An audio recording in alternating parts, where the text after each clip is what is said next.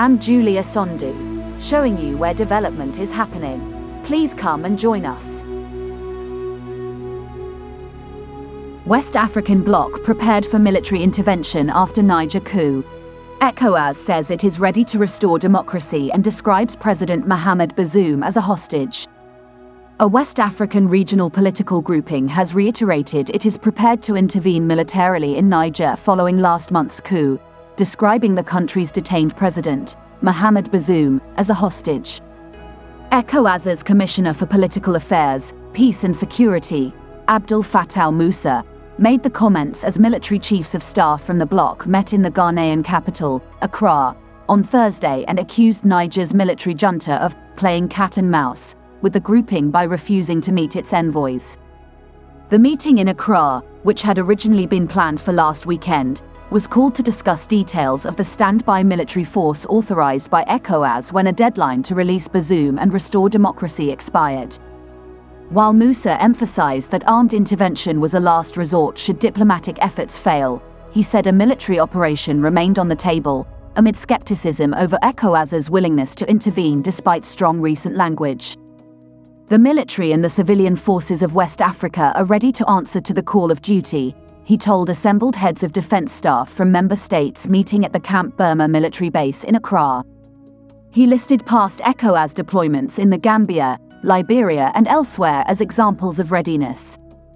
If push comes to shove, we are going into Niger with our own contingents and equipment and our own resources to make sure we restore constitutional order. If other democratic partners want to support us, they are welcome, he said. Musah strongly criticized the junta's announcement that it had evidence to put Bazoum on trial for treason.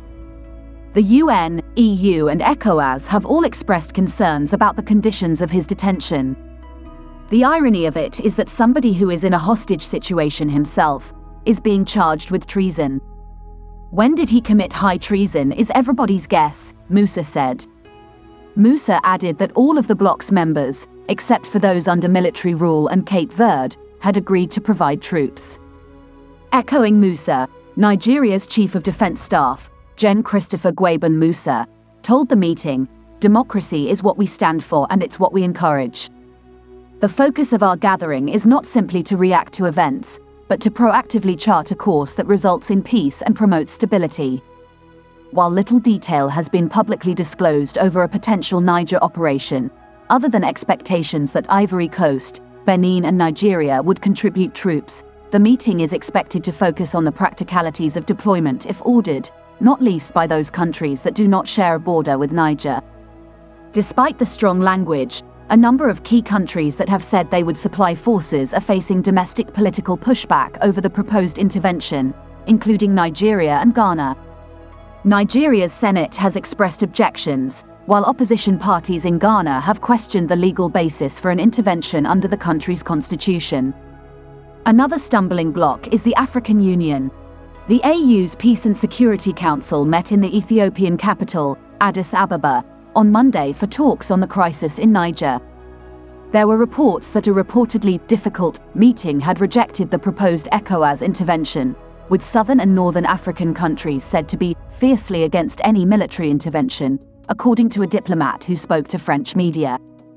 While ECOWAS in theory does not require the AU's approval, the US Department of State has also indicated that it would prefer the crisis to be resolved peacefully if possible.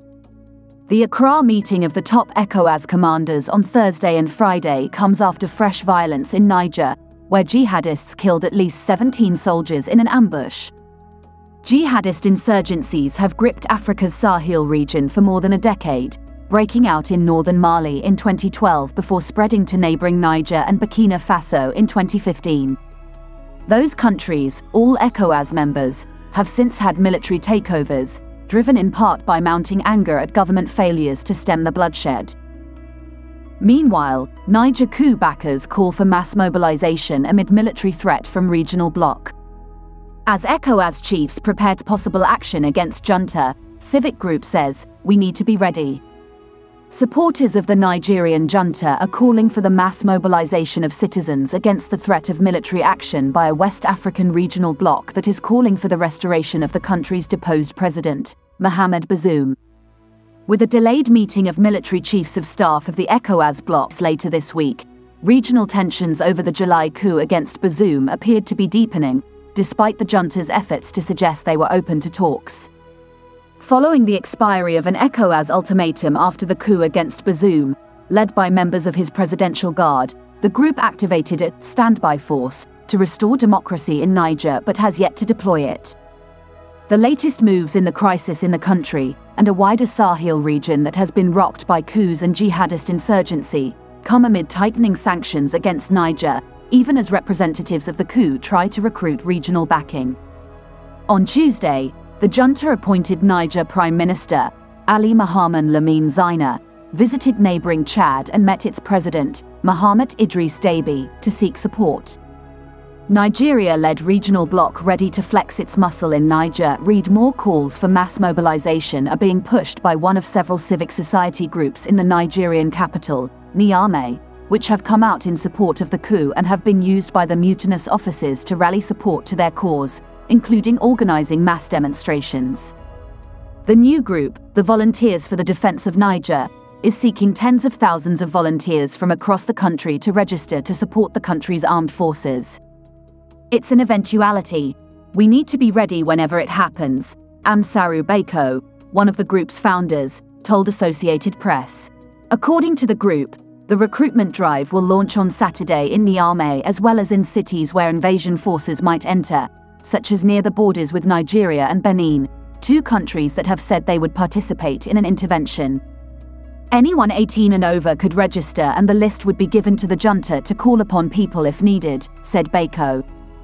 The junta was not involved in the recruitment drive, but was aware of the initiative, he said. It was unclear how serious the mobilization call was or what it was intended to achieve beyond attempting to rally backing for the coup.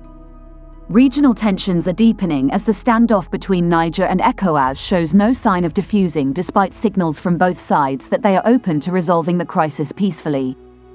Last week, the junta said it was open to dialogue with ECOWAS after rebuffing the bloc's multiple efforts at talks, but shortly afterwards said it would charge Bazoum with high treason and recalled its ambassador from neighboring Ivory Coast.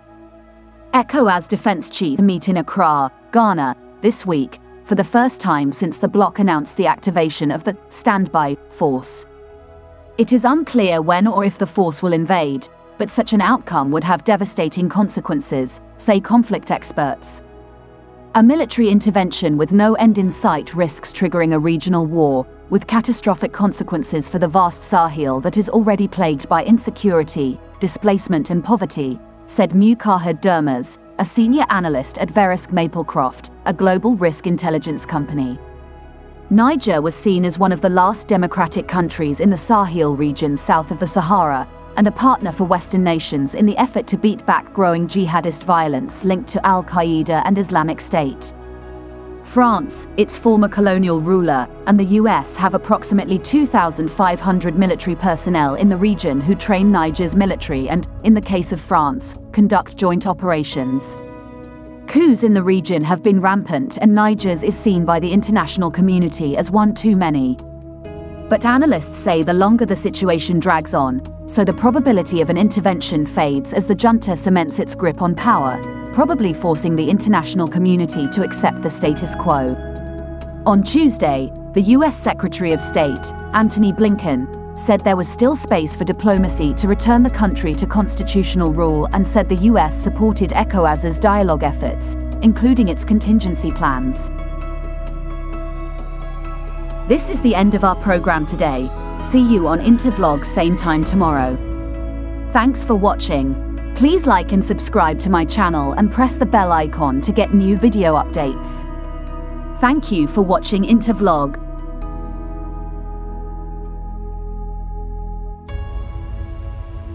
Thank you.